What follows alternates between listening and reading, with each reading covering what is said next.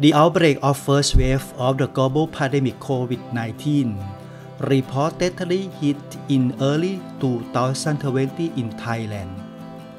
However, the ongoing rippling implications and considered third wave are impacting many aspects of humanity and our whole planet. This pandemic situation is seriously affecting spiritual liturgical, and ecclesial life in the Diocese of Chanthaburi. Following the lockdown, regulations on church closures, suspended services, and restrictive measures have closed the parishes three times in these past two years. During Easter and Christmas season in 2020 and the Easter season in 2021 and is continuing to this. The people of God in the parishes cannot assemble for regular in-person Eucharistic celebrations and other liturgical services. Only those using smartphones and computers join the daily online Mass. Therefore, the elders and people living in remote areas must pray at home and are yearning to receive the Eucharist.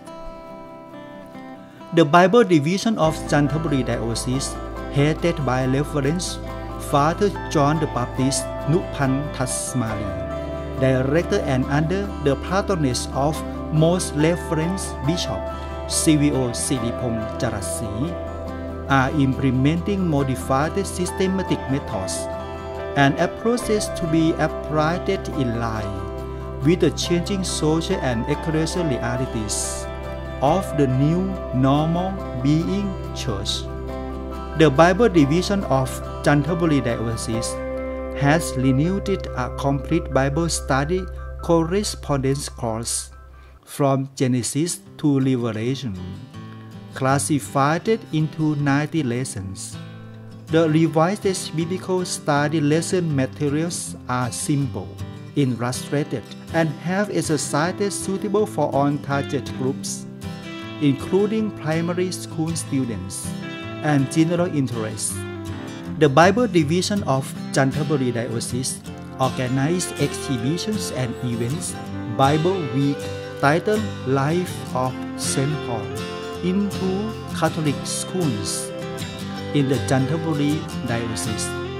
There are around 1,000 students interested and participating in the activities titled General Introduction of the Bible by Reverend Father Joseph Thamarat Reungam, resource speaker to a group of 31 catechists and the interested laity.